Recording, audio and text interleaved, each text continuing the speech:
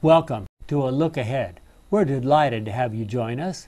As you probably know, we are doing the series of Sabbath school lessons as prepared by the Seventh day Adventist Church for the first three months of 2013. And this series is entitled Origins. And as you could guess, it's a, it's a lesson about the understanding of what happened back when God created our world and all the implications that has throughout Scripture and throughout history. This is the final lesson in that series, lesson number 13 for March 30 of 2013. We would encourage you to get your Bibles and join us as we study together. As we do that, let's bow our heads as we have a word of prayer. Our kind and loving Father, it's always a great privilege to gather in your name, to think about you, to study your word, and hopefully to become more like you. Forgive us for the ways we have misunderstood and perhaps not been careful enough in our study to understand what you want us to know. Now, as we approach the final events in this Earth's history and think about their, what they imply for our future, may we take them very seriously and become more like you, is our prayer in Jesus' name. Amen. In this lesson, we will discuss what needs to happen in order to eliminate sin and sinners and all traces of evil and create a new heaven and a new earth wherein dwells righteousness. Does that sound like a pretty major task? Well, here's John's words to describe that in Revelation chapter 21. Then I saw a new heaven and a new earth. Just like that. Does it talk about millions of years to create it? No, it doesn't. The first heaven and the first earth disappeared, and the sea vanished.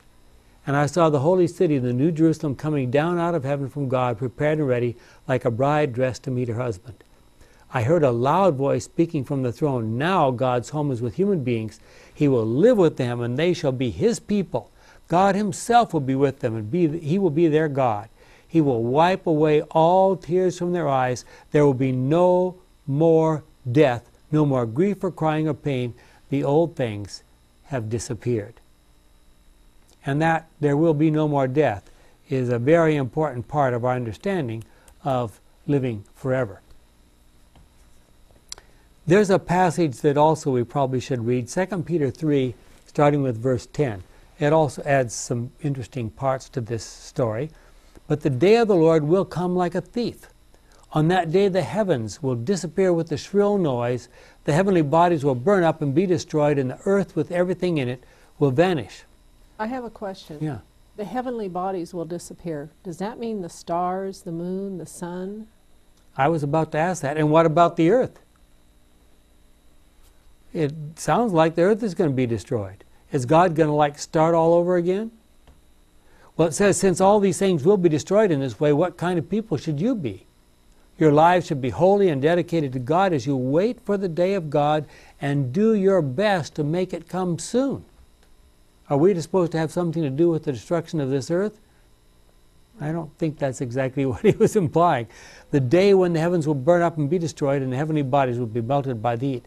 But we wait for what God has promised new heavens and a new earth where righteousness will be at home. Does vanish mean destroyed? At least gone. Well, it doesn't mean destroyed. Well, if God sends it off somewhere where we can't find it, it could just well be destroyed, right? Okay, well. These verses seem to suggest that the heavens and the earth will be destroyed and replaced. How complete will the destruction of our planet, or our earth be? At what point in history, in the, in the history of the final events, the second, third coming, will these new heavens and new earth be recreated? If the New Jerusalem is to come down and settle, because we have this scripture, if the New Jerusalem is to come down and settle on a plain created by the splitting of the Mount of Olives, does that seem that God has created a new earth? Zechariah 14:4. 4. Let's just look at that. Many people are not so from hmm? Not yet. Not yet. At that time he will stand on the Mount of Olives to the east of Jerusalem. Then the Mount of Olives will split in two from east to west by a large valley. Half the mountain will move northwards and half of southwards. You will escape through that valley and so forth and so forth. And it talks about, elsewhere, it talks about the, the New Jerusalem coming down and, and, and settling there. That kind of sounds like it's this earth, doesn't it? Or will God just make a new earth that uh, is just like this one, but has no sin and no evil and no trace of, of disease or death or anything like that in it? Well, it's described as as the New Jerusalem riding on a lake of fire, Mm. and the and the earth is being sin and all that's associated with it being destroyed. hmm And here's the New Jerusalem riding on top of that. Kind of like the ark on the flood. exactly. Okay. And out of that, then comes a creation. hmm And how that's going to happen is fun to speculate on. Well, uh, the, the, the suggestion, again, it, it, the Bible sort of implies this, but Ellen White says it very specifically that the whole earth is going to be like the Garden of Eden. Doesn't God say that eye has not seen and ear has not heard? So it may even be a little bit different or And even better found? than. 2 Corinthians chapter 2. I wonder if there's a s- deep symbolic aspect to this also, besides l- trying to imagine it physically mm-hmm. like we're trying to do right now. Well, of all the things that you can think about that, that you expect to experience in heaven, what do you, what, what do you think is the best part? What do you look forward to the most? No more sin. Okay, that's, a, that's something missing. What? What? I What look was the forward question? with God. Dwelling with God, being associated with God. Well, think of all the things that will be missing. There will be no death, no sin, no murder, no adultery, no lying, no stealing, no deceit, no selfishness. Can you even imagine a world without those things? Cry me a river, man. I want to be in the Garden of Eden and experience you get a home that there. lovely area. hmm What a privilege it'll be to actually have a conversation with Jesus, hmm who's made this whole thing possible. With all the prophets and and all the Old Testament people and the angels who watched everything, just to meet and talk to all of them. Well, this poses another problem for our theistic evolution friends, or our evolutionary friends for that matter, which of course maybe they don't even think about this. But the theistic evolutionary friends, anyway, is God going to say, hold on now, in the next million years, or two million years, or ten million years, we're going to, we're going to watch it recreate itself. I'll start it, but we're going to watch for 10 million years while I guess the New Jerusalem will be floating on, a, on the lake of fire. I guess with eternity, to compare it with eternity, 10 million years wouldn't be all that big a deal. But I, I don't think think I- it's going to happen that way. I think I'll be a little impatient after a while. Yeah. Well, you know, I have a very, I have a good friend, and he is such a dedicated Christian. Mhm. Baptist and better than I am. And he's a theistic evolutionist. And I, You should have brought him over here, let him join our class. I really can't get him to talk through these things. He's a scientist and a mathematician, and he just can't get past the evidence that the human race is coming up with that it, for the, theistic evolution, um, he just can't um, step outside um, the standard, you know, the human standard. And I keep saying, well, they might not have it right. I don't, you know, they don't have it right. And so anyway, it's it's. Um, well, but you can't fault his Christianity at all. look at this. If if we say God didn't create de novo back in the beginning, it took a long process. Are we sure He can recreate a new heaven and a new earth? Maybe He won't be able to. Then where were we? We're in trouble, right? He did and he will. He did and He will. Surely we don't believe any of the so-called evolutionary processes will be present in the new earth, do we? Are we going to evolve into something better than human? But I can see the plants in the Garden of Eden, Eden evolving from a carnation and then go to sleep one night and come back a tulip the next day. And I mean, so there'll be that kind of changes. If if that's what God wills. uh-huh. That, that's one reason why the evolutionists can't buy into a flood. Because you'd have to have all of evolution start over and happen again. Ah, Yeah. good point. And And if and if there was not enough time in the history of the world to develop the eye, then certainly there's not enough time to do it all over after a flood. No. Well, and if you believe in the Darwinian evolutionary idea, the, all the details, when we die, when we die, there could be no resurrection because there would be no God. Now that's taking out the theistic part of the evolution. Well, if God is not going to come again and recreate our earth and our, our, our heaven and our earth, saving the righteous and eliminating sin and sinners, what was the point of his coming the first time? I mean, think about that. Is there any reason for Jesus having come the first time if he has, if he's not able or, or can't or won't come back the next time and, and, and, and save people who believe in him? You know, is God the creator or isn't he? Can he recreate us? Did he create earth? Can he recreate the earth? Mhm. All this is questioning his create, creative status as being a creative God. Absolutely. Well, look at some of the verses. Look at Genesis 2, verse 2. And so the whole universe was completed, verse 1. By the seventh day, God finished what he had been doing and stopped working. I mean, I don't know how he could say it more plainly than that. And put, put alongside that Genesis 3:19. You will have to work hard and sweat to make the soil produce anything until you go back to the soil from which you were formed. You're made from soil and you're, you, beco- you will become soil again. How many times have the atoms and molecules of Adam's body been reprocessed? And what have they been a part of? Bacteria, bugs, maybe other human beings. Maybe some of us have some of those original molecules, molecules that from Adam and Eve, even even now. Well, the scriptures state very plainly that Adam, and for that matter, all the other creatures on the earth except Eve, Eve is the one exception, ladies, stand up and take a bow, were created from dirt. At least you were created from bone. A lot of ladies would agree with that. That men were created from dirt. Yes. well, the Bible says so. It's true. It's absolutely bone true. Was, bone was made from dirt, so. Yes. Well, some Hebrew scholars have suggested that the word should be clods or even clay instead of dust. But there was another part of the, to the lives of Adam and Eve in the Garden of Eden that is perhaps even more important. We talked about this last week, but I'm going to mention it again here. They had daily access to the tree of life. They had that spark of life. What do we know about this tree of life? What's going to what's going to be like in the future? Are you saying that they were re-sparked every day?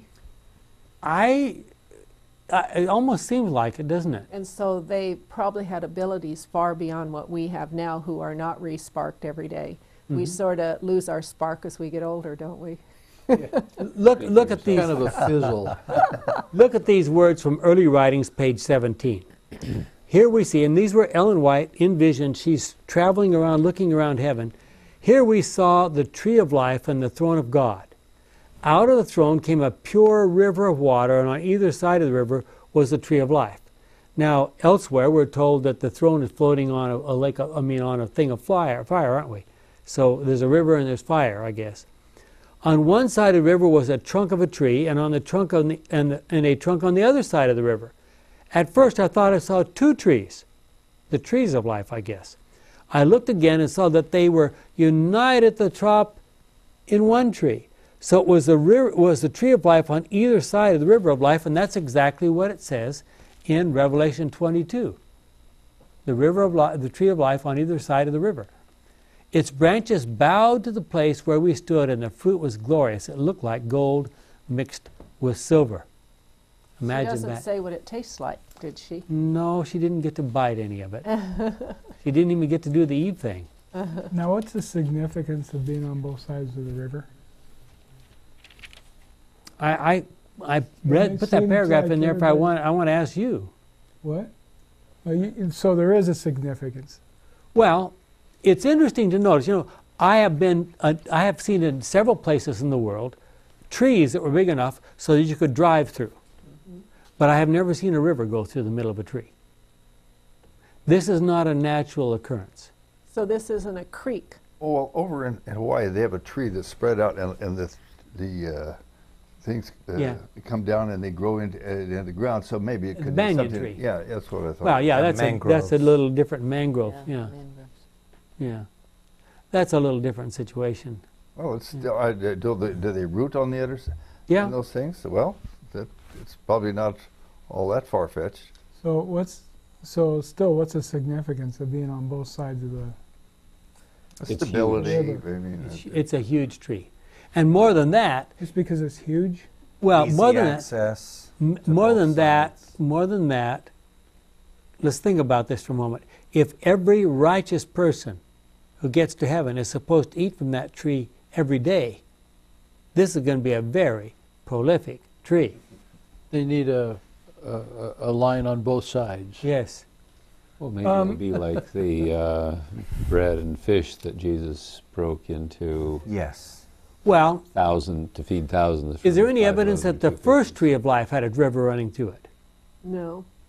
No. Although wasn't that tree in the center of the garden? Garden? And didn't streams run through the center? Well, they So- come. The streams come from the somewhere in the middle of the Yes. garden. But we don't know that it was running No.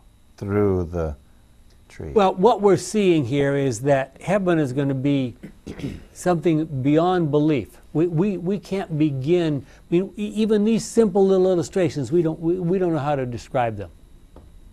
Well, it's going to be more than us sitting on clouds, Mhm. uh, pulling the strings on a harp. Yeah. It's going to be real, where we're going to work the Garden of Eden, we're going to build houses, we're going to talk and have potlucks together with good, healthy food. And so you're saying there won't be any harps? Up well, there? no, I'm we're going to have harps, I'm but We're not going to spend uh, all our time playing harps. yeah, Oh, okay, just a portion of the day. Okay. Yes. Well, look at these words from Job. What do you think of these? Even after my skin is eaten by disease, while still in this body, I will see God. What do you think Job had in mind? Wow. Resurrection. Mhm.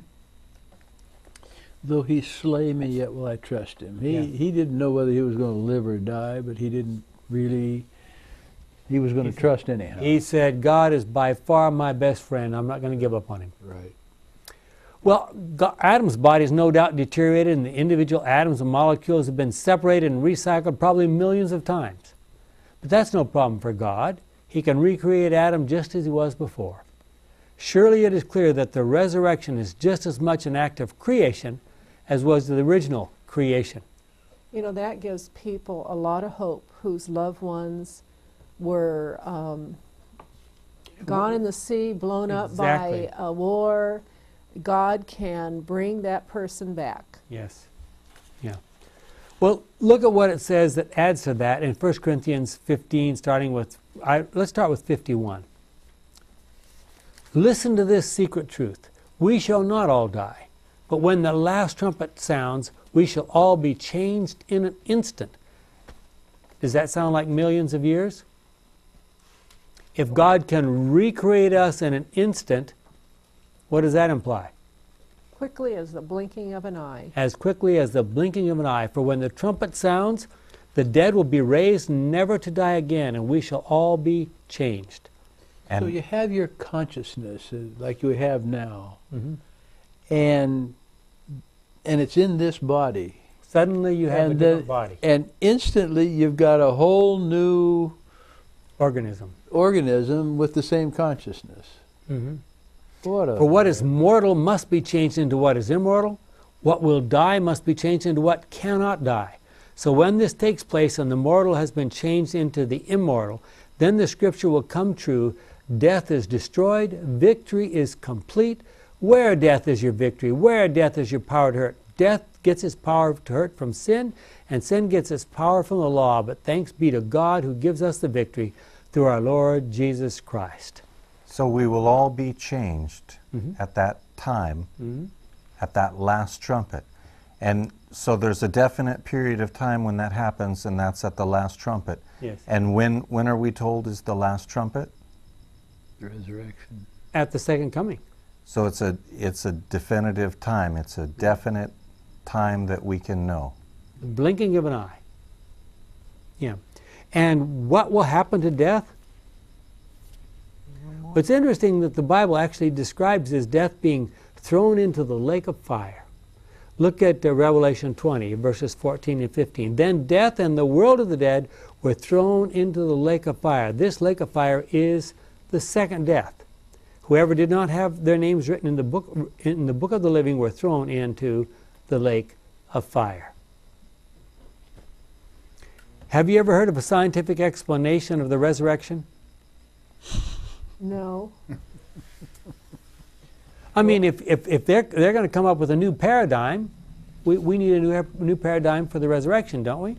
Well, Paul was asked about the resurrection. He called it a stupid question.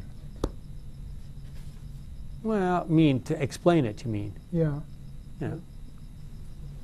Well, if there is no resurrection, there's nothing beyond this life. Do people who believe in theistic evolution consider this, this, this detail? Well, look at Genesis 1.28 and- and John 12.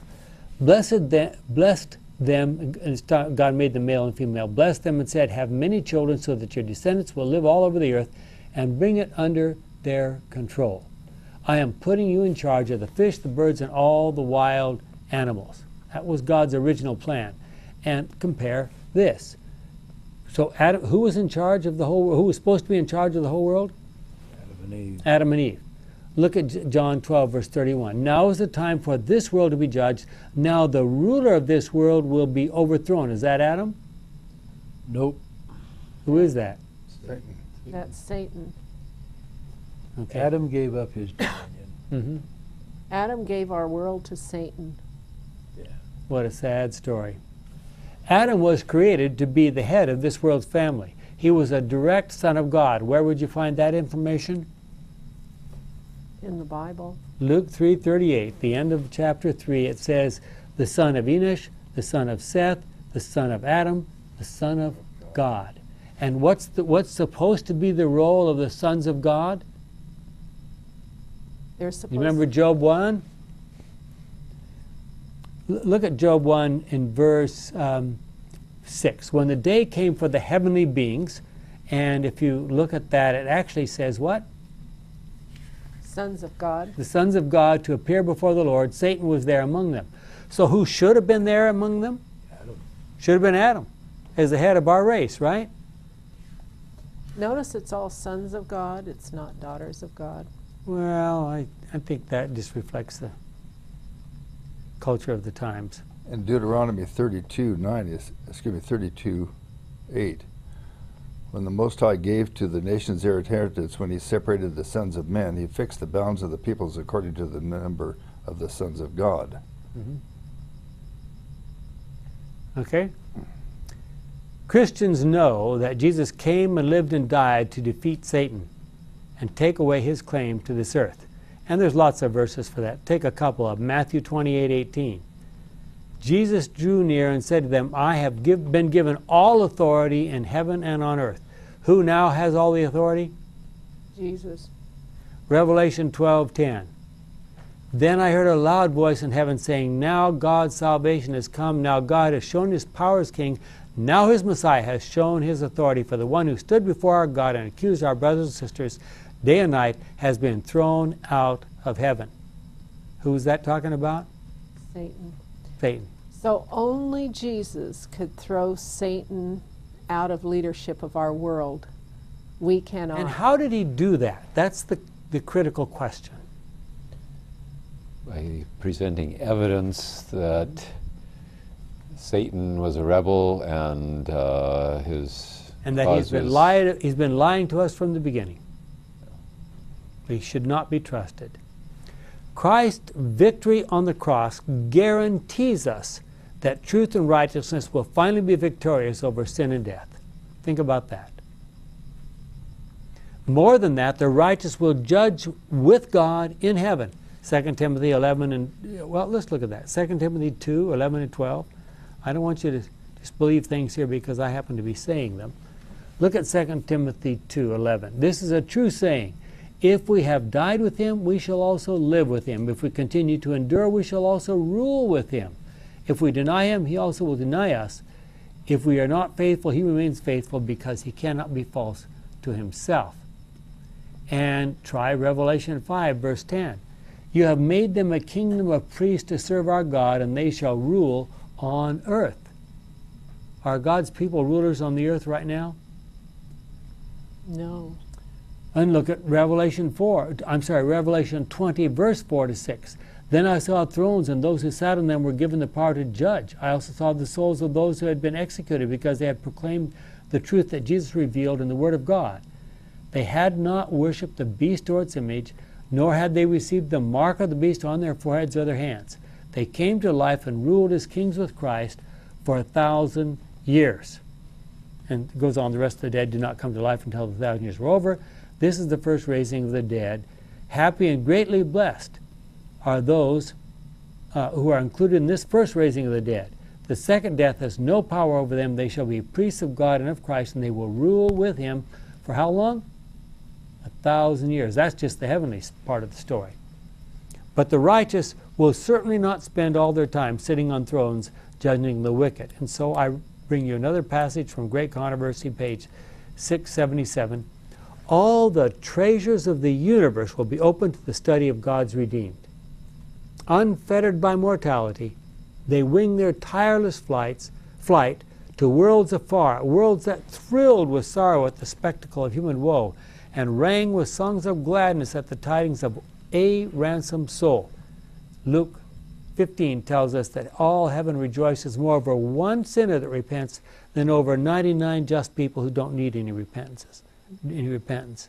You know, when we get resurrected, Mhm. are we going to know upon first awakening? Or are we going to have to ask, is this the first resurrection or is this the second? Would you please tell me? We'll know. we'll know. We'll look up and see Jesus coming and we'll say, This is the first one. Yeah. Well, with unutterable delight, the children of earth enter into the joy and the wisdom of unfallen beings. Great Controversy 677. Have you ever thought about what it's going to be like to have a conversation with your guardian angel? Scary, huh? Boy, was I a little stinker down there. Be apologizing. Mm. We spend the rest of our li- rest of eternity apologizing. Uh, rest of eternity thanking him. hmm What will be the result of our having open and free communion with angels and even God Himself? More learning, more uh, or closer relationship with the I, I imagine it's something like this, and you, this is my imaginations. You can do what you like with it. but I imagine that on Sabbath we'll meet together with God, and we'll say, "Man, you know what I did this last week? I discovered this and this. I saw that and that and that." And God will be standing there smiling, and He'll say, "That's great. I have a suggestion for you. Next week, why don't you try this and this and this and this and see what happens?" What I'm curious about, there's going to be many people in heaven.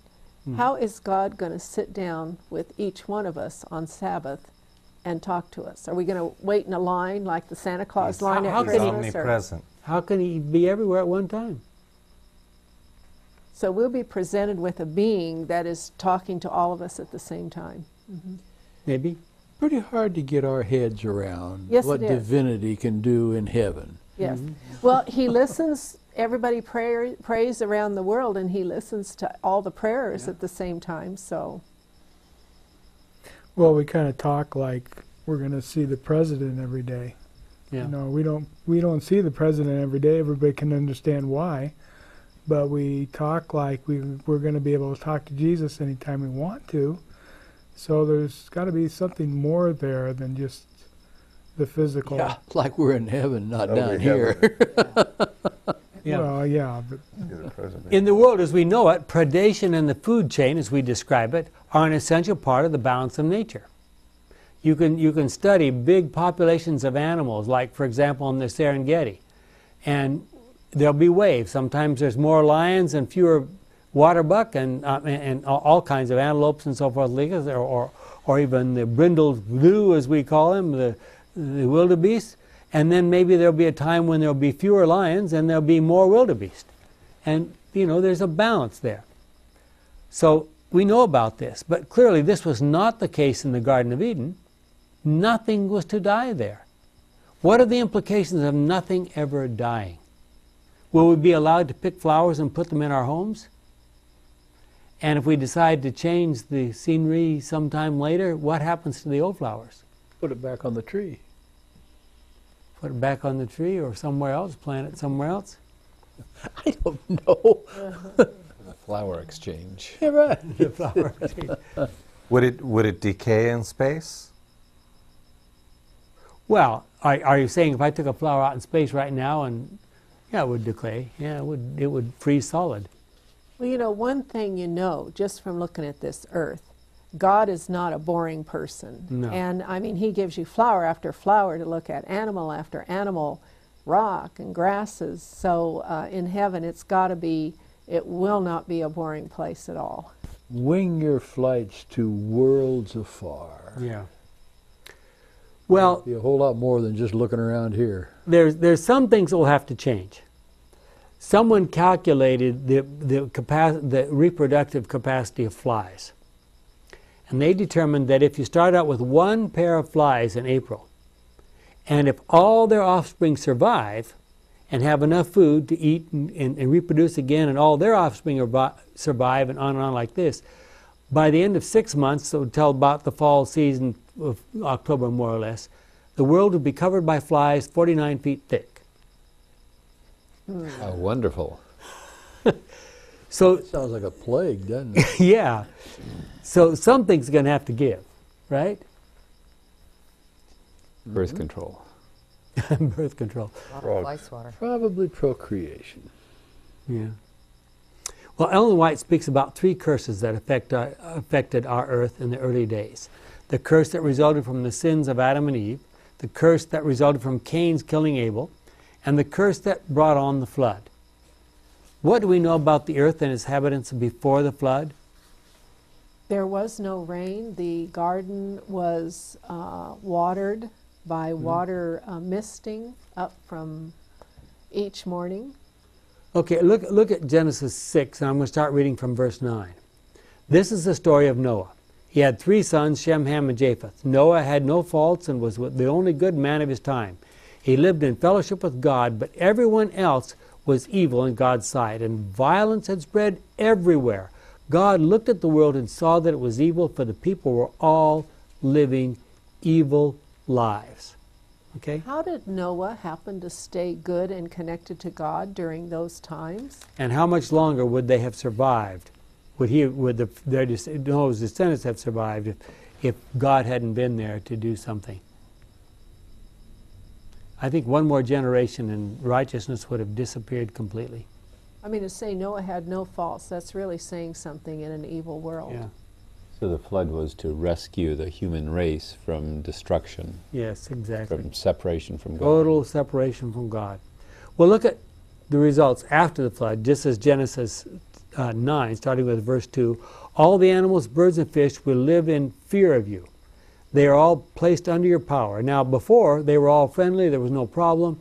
Now the animals are afraid of us. And I can, I can, you know, people talk to me about running out on the hills behind Loma Linda because there are quite a number of wild animals out there. I've seen bobcats, I've seen lots and lots and lots of coyotes, I've seen all kinds of wild animals, even deer and, and, and big male buck deer. Um, and I've been told that there are people who've seen mountain lions out there. But what's the, what, what happens when I, I, I've seen five or six coyotes, probably at the, s- the maximum number I've seen at one time. And what do they do when you come running up to them? They kind of leave. They run. They run.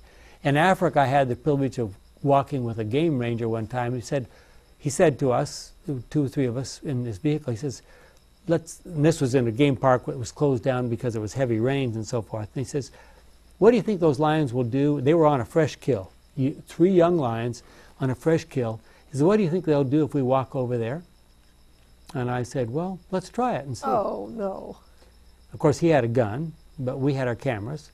And I have pictures of it. We walked over there and we got up about 30 feet from them and they ran. They left their fresh kill and ran away. Hmm. They saw the gun. I don't think they knew a gun from something else. They saw human beings. They said, We don't like what we're seeing. Now, didn't Ellen White speak about this curse of the animals running away from us? Because it started out that that uh, Noah and his family were scared that they were going to turn on them. Yeah. So um, it looks like. wh- What was the change? Was it for the good or for the bad? Well, here, let me read the rest of the verses here. They are all placed under your power, these animals, eh, but they're going to run away from you. Now you can eat them, as well as green plants. I gave them all to you for food. The one thing you must not eat is meat with blood still in it. I forbid this because the life is in the blood. Now, technically, from a pathological point of view, Norm, you're into that kind of stuff, the life is not in the blood. That's just a symbol. Why did they believe the life was in the blood? Well, if you saw too much of it, it died. Yeah. What if they uh, if they had to have, uh, offer an animal sacrifice? The first thing they would see is the blood coming out, and after a while, the animal's dead. So it seemed like the life was in the blood, didn't it? Okay. Having said that, why does why did God forbid them to eat food with the or animals' flesh with the blood still in it? well, I have my reason. Okay. because the blood was the highest um, commitment that you can give to somebody when you make a promise. I see. a that when promise. you that when you tell somebody that if I don't do this, you can kill me. There's nothing else more that you can do than that. Mhm. And so I would say that the blood was held sacred because of that. Okay. Well, you know, today you have to be very careful that you don't handle blood. And I think a lot of disease is in blood. Well, what is in the blood? Waste products. A lot of waste products. You know what gives meat its flavor? The waste products. Waste The waste products. For those of you who may have a question about that, here's a here's a little experiment you can try. Take a s- like a one inch cube of your favorite steak, if you like steak, and boil it for a little while. Then squeeze all the juice out of it, and boil a little bit longer. Squeeze the juice out, and, and see what it tastes like if you have just the protein. Rubber? Can you guess? Rubber? A little bit like rubber. So no flavor at all. so what are you saying? I'm saying the reason God told them to get the blood out was so that they wouldn't develop such an appetite for it. They wouldn't get an appetite for the meat For that the had the blood. For the blood. So he made it. I still like mine better. Y- Your, your idea? Yeah, I still like God- mine better. I'm sorry. God made it as dist. What is it you like better? Well, you know, um, there was a whole thing about Abraham, you know, and the promise that God did, you know, during the 1st um, you know, where he had them sacrifice the, or take the animals and cut them in half, and then him walking through it. It was an ancient That custom. would, that there was a lot of blood there, Yeah. and there was a lot of commitment made there, Mhm. Yeah. and so, and so this is what I think is is the primo number one reason why blood is sacred is is its commitments. That's fine. Um, also as true. far as far as eating, Well, this verse is talking about eating it. It's not talking about making commitments. So, in what way? well, Genesis 9, it just says here, look at verse 4. The one thing you must not eat is meat with blood still in it. I forbid this because the life is in the blood. And I'm just saying that the reason why you don't eat it is because of that more than anything.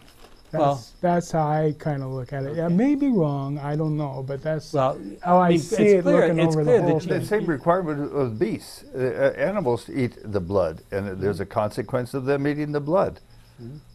According going to Genesis, or they're on Genesis four. Yeah. Well, I mean, it's it's um, it, it's it's clear that um, that places like McDonald's, um, they thrive on the blood. Well, people had become incredibly wicked. After the flood, human beings were allowed to eat meat, however, with the blood as far as possible removed. Did this have something to do with the very rapid decline in the length of human lives? We know what happened. Animals were afraid of human beings, and we assume that man's dominion over the animals was considerably diminished.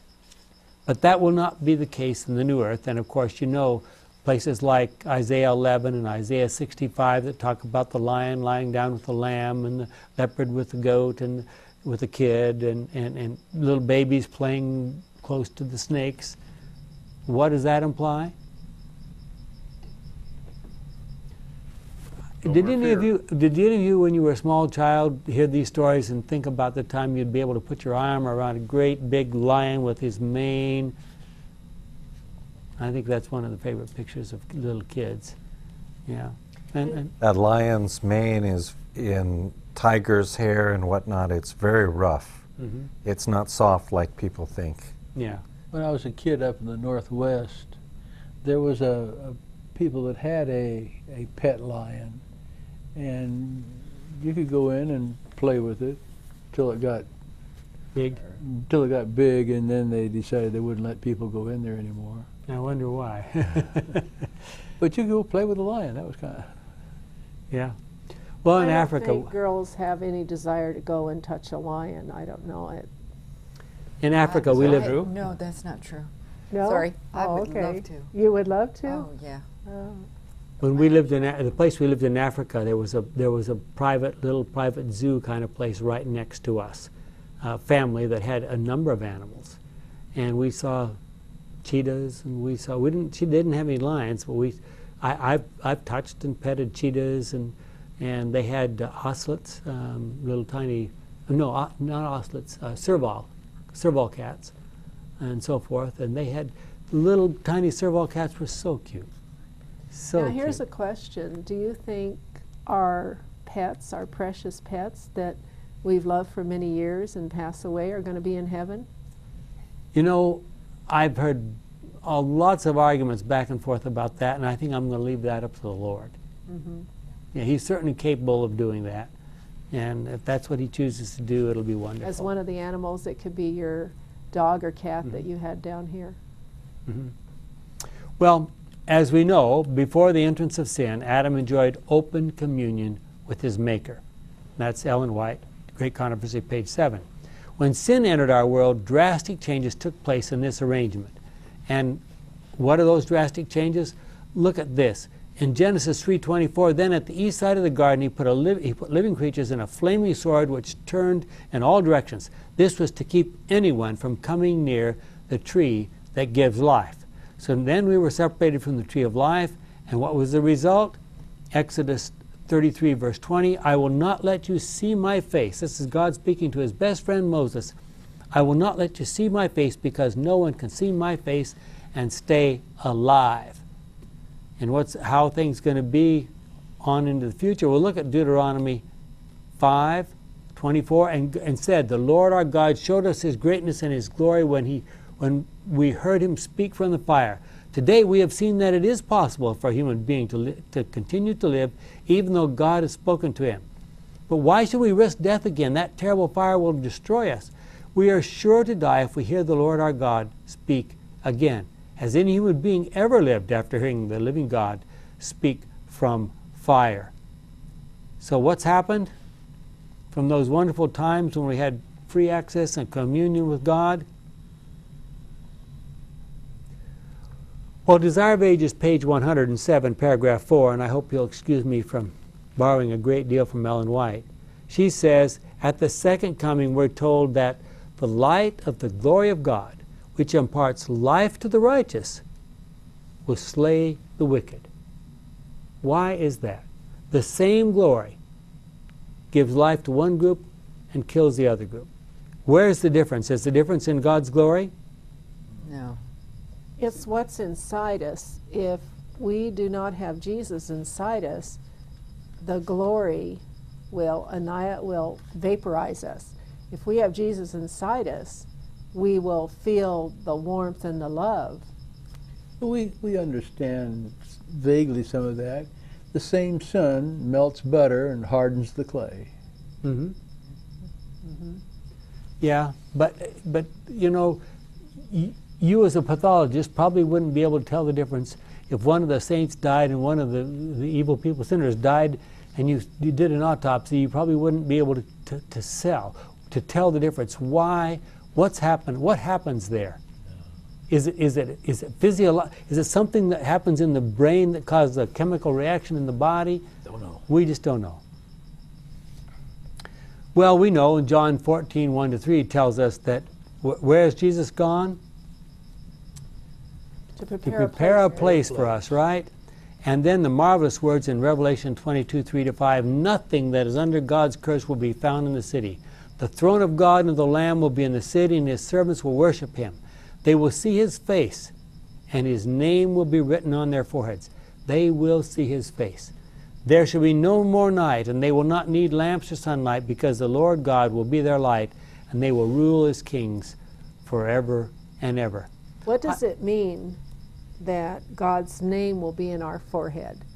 That's not a tattoo. No, that means that we are we are experiencing intelligent obedience and worship of the And our intelligence then is in our forehead. Yes. Yeah. Well, one thing I hope that God doesn't take away with this all 24-hour light is I hope I hope once in a while we get to see a sunset or a sunrise. About three or four days ago, I was up early studying. I'm up early every morning, but I happened to look outside the window. There was a most gorgeous sunrise you can possibly imagine. It was so, I mean, every shade from purple to orange to, to yellow to, oh, it was gorgeous. Anyway, the great news for the righteous is that God has gone to prepare places for us. Once again, we'll be able to hold direct communion with Him and see Him face to face. Finally, God's original plan for the human race will be fulfilled. And these are Ellen White's words to describe that. And the years of eternity, as they roll, will bring richer and still more glorious revelations of God and of Christ. So, what's going to be the, the best part of heaven? Knowing more about richer God. and more glorious revelations of God and of, of Christ. As knowledge is progressive, so will love, reverence, and happiness increase. The more men learn of God, the greater will be the admiration of His character. As Jesus opens before them the riches of redemption and amazing achievements in the great controversy with Satan, the hearts of the ransomed will thrill with more fervent devotion and with more rapturous joy. They uh, they sweep the harps of gold, and 10,000 times 10,000 and thousands of thousands of voices unite to swell the mighty chorus of praise. Now, once in a while, we get huge choirs. I mean, I've heard choirs up to like 200 people, and they are just incredible. Imagine a, a million voice choir. Can you imagine it? In, in harmony. Perfect harmony. Not just maybe four part, maybe 24 part, you know? Then he's going to give us a singing voice. Yes. Well, the great He's got controversy. some work to do on me. Yeah, a lot of it. The great controversy is ended. Sin and sinners are no more. And for that matter, death is gone. Any disease is gone. All that stuff is gone. The entire universe is clean. One pulse of harmony and gladness beats through the vast creation. From Him who created all flow life and light and gladness throughout the realms of illimitable space. From the minutest atom to the greatest world, all things animate and inanimate, in their unshadowed beauty and perfect joy, declare that God is love. Great Controversy 678. You recognize the last paragraph of that book. As we look at some of the verses in the Bible describing our future home, is it really possible even for us to imagine what it will be like? We can't even imagine what the Garden of Eden was like. Paul and the other apostles suffered a lot in their lives here on this earth, but they look forward to a life when they, uh, they believe would be so glorious that the trials and troubles of this earth would not even come to mind. Just take a look at that real quick. Romans 8 18. I consider what we suffer at this present time cannot be compared at all with the glory that is going to be revealed to us. What did Paul think? Wow. And 2 Corinthians 4 16 and 17. For this reason, we never become discouraged, even though our physical being is gradually decaying, yet our spiritual being is renewed day after day.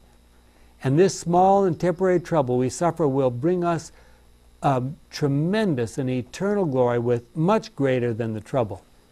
Is that mm-hmm. Paul? That's Paul. Because he had no small and temporary trouble. No. He had large and ongoing trouble. Yes. So I ask the question again can we even picture, can we even imagine what the new earth will be like? Our minds can only imagine things with which we are somewhat familiar.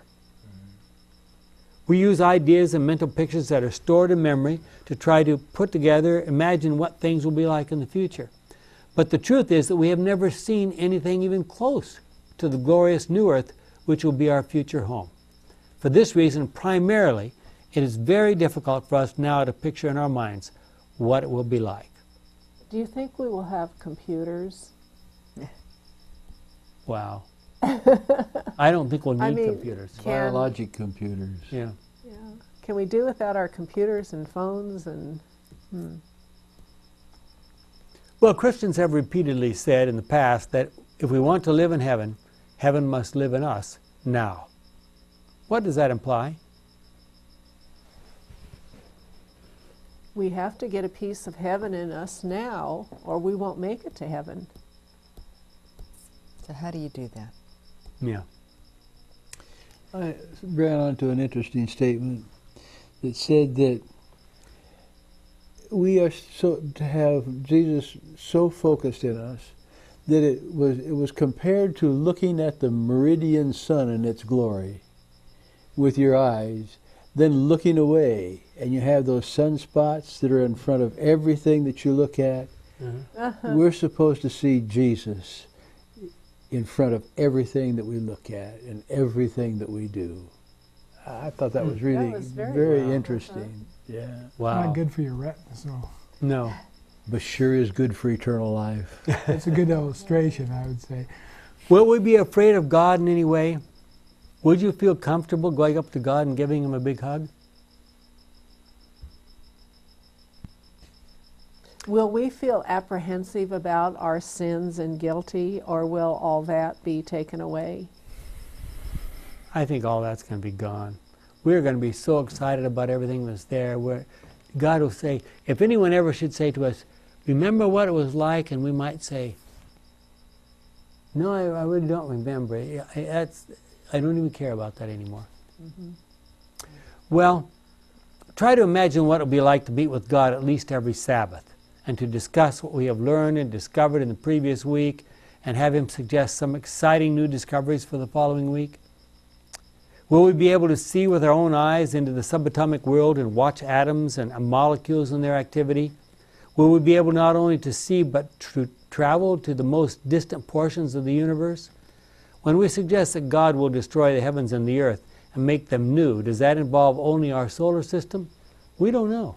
I have a question. Yeah. A lot of times there's mysteries in our lives. We just mm-hmm. don't know what happened. When we get to heaven, will we be able to go into the book of life and read about the account, what happened, and understand what happened here on earth? I think anything like that that we have questions about that are really important, God will reveal to us. Yeah. Besides that, you'll have you'll be able to interview a lot of people around you that saw things you, you didn't see. And By the way, if you um, are interested in our discussions and the things we talk about here, we prepare handouts that we, we use as sort of a general guide to follow as we study these lessons. And those handouts are available on our website at theox, that's T H E O X dot O R G, theox dot O R G. And you can get the handouts for just this lesson itself, for example. Well, heaven will be a place where everyone is loving and kind and always looking out for others. Selfishness will be totally alien, totally alien to that environment. And what would happen if Satan, if sinners were allowed to enter heaven? I thought, I thought this was a very significant passage. Satan sees, now this is as the New Jerusalem is coming down at the third coming, Satan sees that his voluntary rebellion has unfitted him for heaven.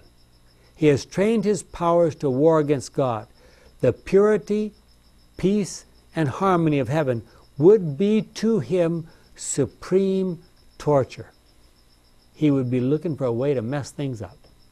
Maybe that is the torture right there. Yeah. His accusations against the mercy and justice of God are now silenced. The reproach which he has endeavored to cast upon Jehovah rests wholly upon himself. And now Satan bows down and confesses the justice of his sentence. Great Controversy 670, paragraph 2. And of course, that's a reflection of Philippians 2, 10 and 11, Isaiah 45, 23, Romans 14, 11, I think it is. Satan is allowed 1,000 years on this earth between the second and third comings to begin to realize what his rebellion has cost him and others.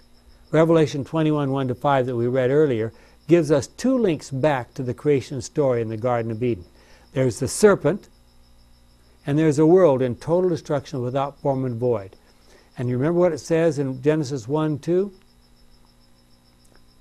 The earth was formless and desolate. The raging ocean that covered everything was engulfed in total darkness, and the Spirit of God was moving over the waters. I traveled with some friends uh, a couple years ago down to visit Patagonia, clear down the southern tip of South America. Now, that's the closest piece of continent that reaches toward the Antarctic, short of, I mean, the next stop is Antarctica. And for that reason, there's nothing in the way of wind whipping all the way around the earth. And every morning you get up in a beautiful, calm, quiet, beautiful sunrise and so forth. But later on in the day, the wind would come up, and if you walked along the, the shore of a lake, it would just whip so much water off, of, off right out of the lake, just whoosh, whipping it right out. It was like standing in a rainstorm. yeah, I, I, you could see. I took movies of the uh, and stills as well of of the water blowing up off the off of the lake. The, the, the, the water was so severe. Well, we, but we hope that during these lessons, when we have studied creation and its all its implications and thought about what it implies for our future, our resurrection, the making of new selves, and so forth like this, we hope you found that all very enlightening and that you will think about it as you meet with your class and study with your Sabbath school lesson. Hope we'll, hope we'll see you next week.